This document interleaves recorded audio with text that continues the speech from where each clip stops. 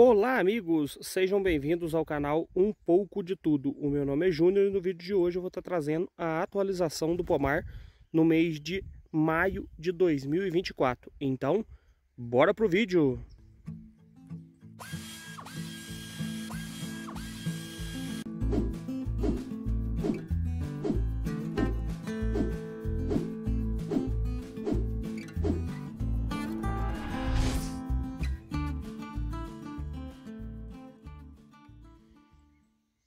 Bom, galera, eu vou estar tá começando aqui por essa primeira parte do pomar, que é a parte, digamos assim, mais velha, né? É, vou estar tá começando por essa carreira de cima aqui. A primeira, como vocês podem ver, não, tinha, não tem nada, né? Aqui tinha um pé de maçã plantado e ele infelizmente morreu. Aí tá aqui a cova. Eu vou... Aqui eu vou estar tá fazendo umas replantas aqui no pomar no final do ano, lá para mês de outubro, novembro, vou estar tá comprando as mudas e realizando as replantas aonde morreram ou aonde tem a cove e não teve a planta no, no dia para plantar. E eu vou estar tá fazendo mais uma carreira ali por baixo que eu vou estar tá mostrando para vocês. Mas isso aí é para um próximo vídeo. Vou dar continuidade aqui. Como o primeiro aqui não tem vamos para o segundo. É um pé de maçã é, Fuji. Ele está bem bonito cresceu bastante da última atualização. Vou estar tá deixando é, aqui, aqui em cima, deixa eu ver, aqui em cima no card. Vou estar tá deixando aqui para vocês assistirem a última atualização. E tá aqui. Eu não vou estar tá falando muito assim sobre a idade deles, porque nos outros vídeos anteriores eu já falei. Mas é, no resumo aqui, a planta mais antiga tem 4 anos e 5 meses, que no caso são essas três aqui que eu vou estar tá voltando nelas aqui. Mas vamos lá. É, o próximo é um pé de, de manga, manga Aden. Cresceu bastante também. Olha para vocês verem como é que tá o porte dele. Já produziu também, já produziu algum, algumas vezes. A última produção dele, inclusive, não sei o que, que aconteceu, as manguinhas bonitinhas, é, pequenininhas no caso, caíram todas, ficaram só algumas, não sei o que, que aconteceu. Sei lá, né? Agora vamos pro próximo aqui. É um pé de polcã. Produziu até que bastante. Outro fato que aconteceu aqui pra gente, galera, foi uma chuva de pedra, infelizmente. Caiu uma chuva de pedra muito forte aqui pra gente. É... Destruiu muitas coisas, sabe?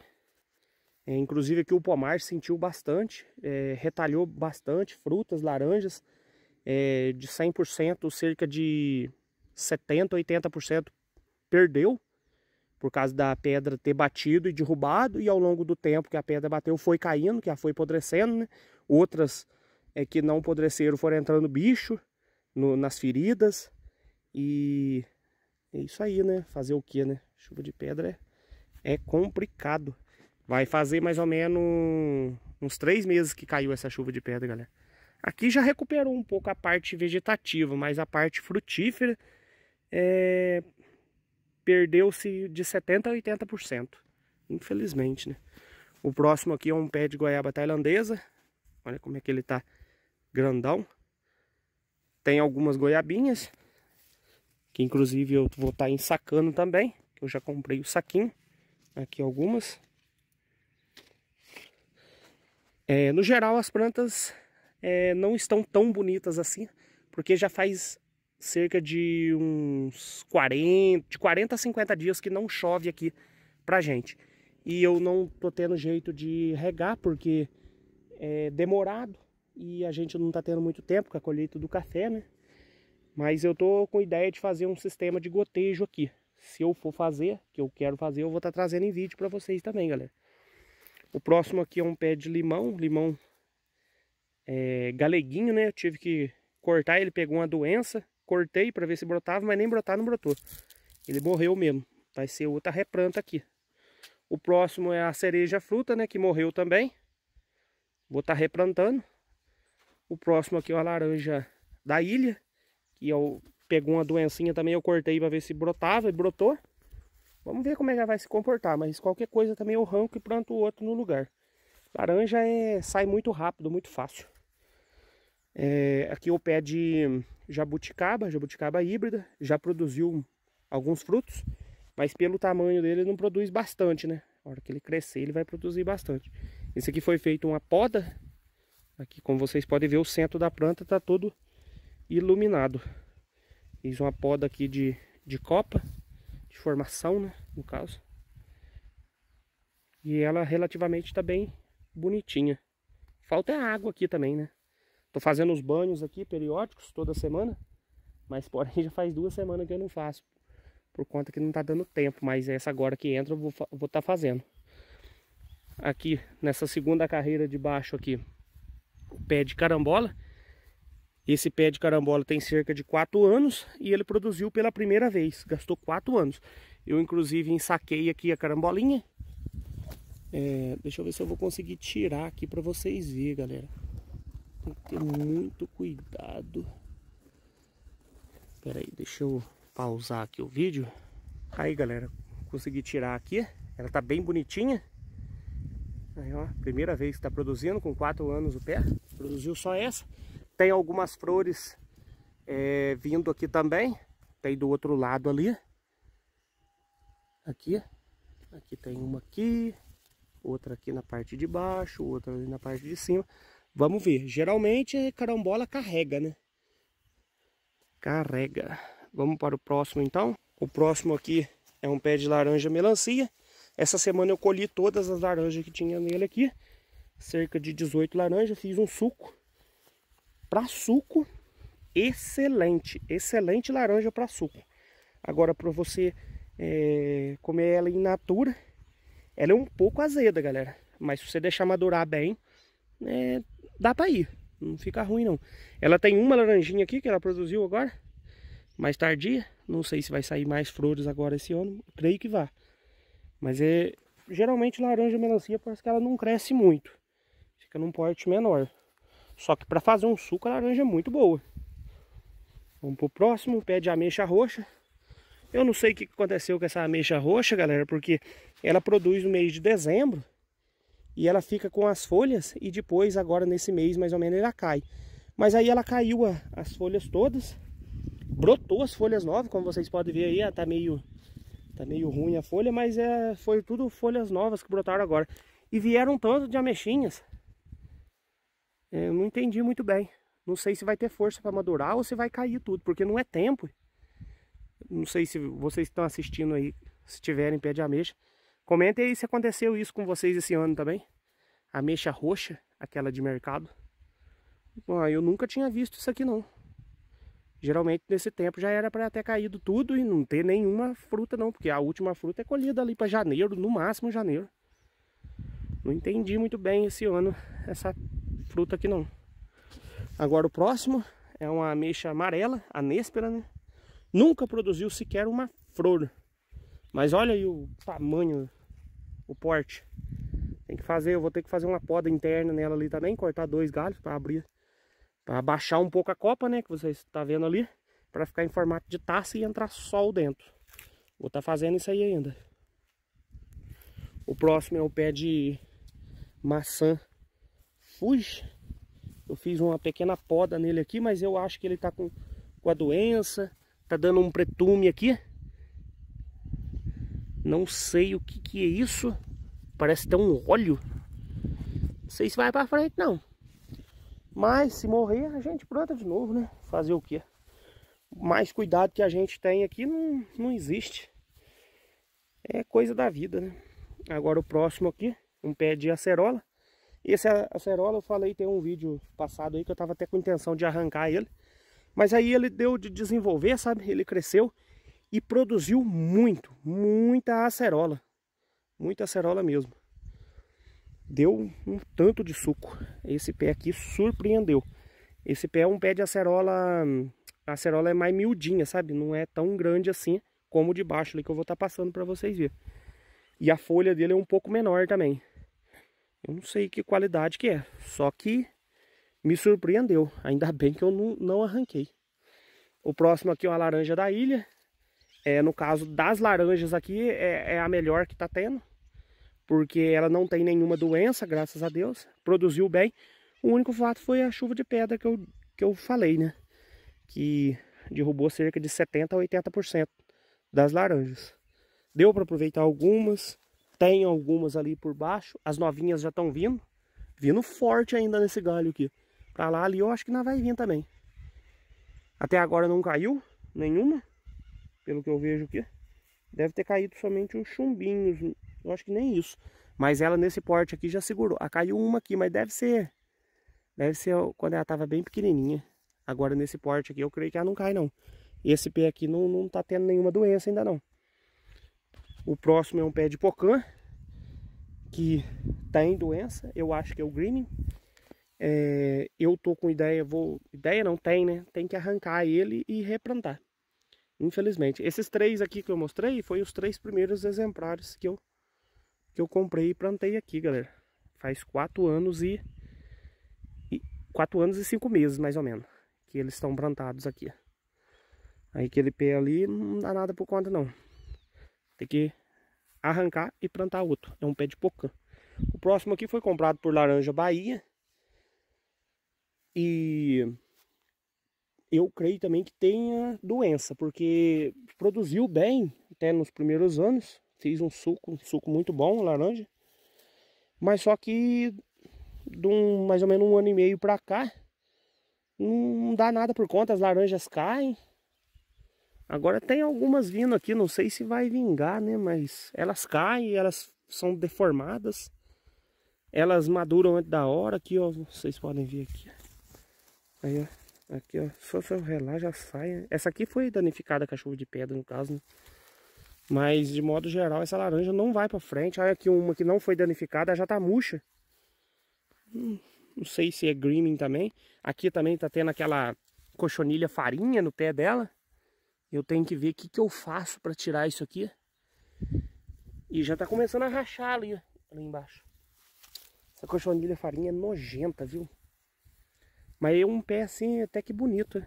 E ela sempre tem laranja. Não existe a época do ano que ela não tem laranja. tem laranja de tudo quanto é tamanho.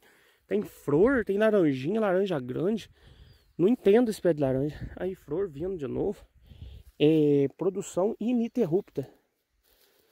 Mas também agora não presta, porque a laranja não dá uma laranja boa. Vai, vai indo, eu acho que eu vou ter que arrancar esse pé. Não vai dar nada por conta, não. Vamos pro próximo aqui, um pé de pitanga vermelha. O pé tá bastante grande, bonito. Produziu algumas pitanguinhas. Mas eu acho que ele não tá ainda em plena produção. Mas a pitanga é muito boa. Na hora que ela fica madurinha, docinha, muito boa. E pitanga grande. Eu já fiz a poda aqui de formação dela. Já fiz a poda interna. Tá tudo arrumadinho, só os galhos em formato de taça. Esperando esse aqui crescer também para fechar aqui. Mas tá ficando jóia o pezinho de pitanga aí. É, como eu falei aí, é, negócio é água, né? Precisa de água. O próximo aqui é um pé de fruto do milagre, que eu achei que tinha até morrido, mas veio e brotou. É, o crescimento é meio lento, mas tá aí, né? É um exemplar que a gente tem, né? O próximo aqui é um outro pé de acerola. Eu creio que esse aqui seja a acerola Okinawa. Tá precisando abrir o, o galho aqui também, ajeitar ele, fazer um, uma formação melhor. Produziu até que bem acerolas, não, não como o de cima. Só que aqui a acerola é grandona, assim, bem grande mesmo. Uma acerola muito boa. Pra suco, né? Porque se for pra consumir in natura, o bicho é azedo, viu? O próximo aqui é um pé de fruto do milagre também, o que tá mais bonito. Tá crescendo bem, desenvolvendo bem. Esse ano não produziu. Ano passado também não produziu. Tem tem botões florais, mas não estão vingando. Não sei se é por causa do crime. Opa! Esse eu não tinha visto. Aqui, galera, olha. Essa vingou. Olha que beleza.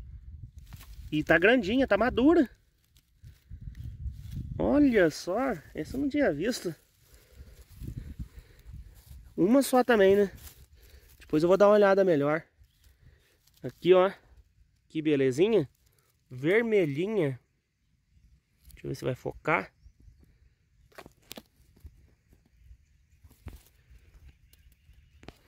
Não tá querendo focar muito bem. Mas que belezinha. Depois nós vamos fazer o teste nela. Já fiz, já colhi duas ou três aí ano passado e realmente faz efeito mesmo. Muito interessante esse pé aqui de fruta do milagre. O próximo é o pêssego chimarrita. Ele está na vegetação normal dele mesmo para essa época. Às vezes sai um botãozinho de flor, mas não vinga não, isso é normal. Ele não vai vingar mesmo nesse tempo. Não está tendo folhas, as folhas caíram quase todas já. Mas produziu pêssego pra caramba isso aqui, viu? Modo de falar assim, é um pêssego muito bom, um pêssego grande. E pelo porte dele até que produziu bastante unidade, sabe? E muito doce, de polpa branca. O próximo aqui é o pé de graviola. Primeiro ano que está produzindo os botões florais aí, mas até agora não pegou nenhum não. Deixa eu ver se tem aqui, aqui ó, isso aqui já é um. Deixa eu ver se tem outros fechados. Ali o outro fechado ali na frente. Aqui, aí. É, mas até agora não, não segurou não. não. não. conseguiu segurar. Esse pé tá cerca de dois anos e meio, mais ou menos. Foi plantado desse tamaninho aqui. Desse tamaninho. Olha como é que cresce isso. Já tá até para fazer a poda nele por baixo ali. Limpar um pouco. Tá muito bonito esse aqui. Vamos para o próximo ali. Um pé de pera, pera d'água. Produziu duas perinhas, uma sumiu. Não achei por aqui. A outra bateu a pedra nela também. Como em tudo aqui. É, eu esperei madurar, madurou um lado, o outro lado apodreceu. Aí eu colhi ela, tava amarelinha de um lado. E é muito doce, galera. A pera muito boa, muito saborosa. Olha como é que o pé já tá grande. Eu acho que esse ano ela vai produzir mais. Ela já vai produzir. A primeira vez que deu flor e que produziu também. Tem cerca de três anos e meio. Agora tá no tempo dela cair as folhas tudo mesmo, ficar lisinha para poder ela vir as folhas novas ali para setembro, mais ou menos meados de setembro. Agora o próximo aqui e último dessa primeira parte do pomar, primeira parte de vídeo, né? É um pé de é, cabeludinha, que é a jabuticaba amarela. Tá com as folhas muito bonitas, verde bem escuro produziu flores ano passado e esse ano também, inclusive tem até uns resquícios aqui, mas não segurou nenhum fruto. É, ela tem cerca de dois anos mais ou menos plantado aqui. É uma das mais novas plantadas aqui, nessa primeira parte do pomar. Certo, galera? Aqui eu fiz uma roçada aqui para poder ficar mais apresentável o, o pomar, né? Eu rastelo tudo. É, essa foi a última roçada antes do inverno, né? Porque agora ela vai ficar mais ou menos assim. Às vezes vai crescer um pouquinho. Mas não foge disso. Que agora é muito seca aqui. Bastante seca. Como eu disse, já faz cerca de 40, 50 dias que não chove. É, aqui eu vou estar tá fazendo... Na verdade, eu já era para ter feito aqui essa carreira aqui por baixo. Aqui tem até uma cova que não teve planta para plantar. Ela tá feita aí. Eu vou fazer uma carreira até varar lá na frente. Já deixei tudo medido quando eu fiz a cerca, já está tudo planejado. É, só não fiz porque por conta da minha construção ali, né? Que inclusive eu vou estar tá trazendo em vídeo para vocês verem. Eu não consegui trazer na execução dela porque eu era servente, patrão, tudo correndo atrás das coisas. Aí não tive tempo. Até tem uns dois vídeos aí no canal, mas depois eu não consegui mais, não dava tempo. Eu acordava 5 e meia e ia, ia entrar para dentro para tomar banho, era 9 horas da noite, não dava tempo pra, não dava tempo para nada. Mas eu vou estar tá mostrando para vocês aí como é que ficou até agora, que jeito que tá. Vou fazer mais coisas ainda, mas isso é para um próximo vídeo, né? É, aqui eu vou estar tá fazendo, como eu disse, plantando aqui, fazendo mais covas aqui e plantando o resto do pomar aqui para inteirar essa primeira essa primeira parte. Mas no mais é isso aí, galera. Essa primeira parte aí, atualização do mês de maio de 2024. Bom, galera, então esse foi o vídeo de hoje. Muito obrigado por assistirem. Se gostaram, deixe o like. Compartilhem com seus amigos nas redes sociais. Se inscrevam. Clique no sininho para ficar por dentro de todos os vídeos novos e interações do canal. Então até o próximo vídeo. Valeu. Fui!